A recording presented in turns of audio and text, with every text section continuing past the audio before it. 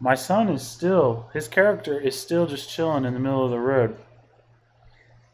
You guys, uh,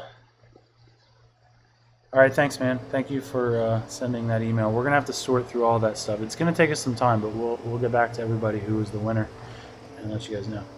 I'm gonna, for people who are watching the stream, if you eliminate my son's character, you will win a prize. And I'm gonna show you real quick where he is on his screen. All right, just real quick, because I don't want people like getting too serious about the screen, uh, the stream sniping. But that that's where he is.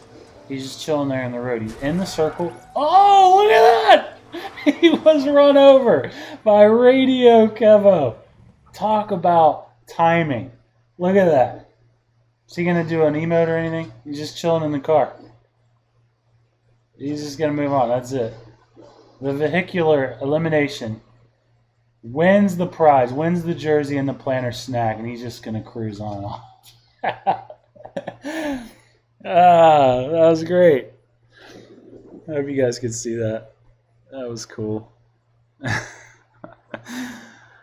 right, let's cut back to the game.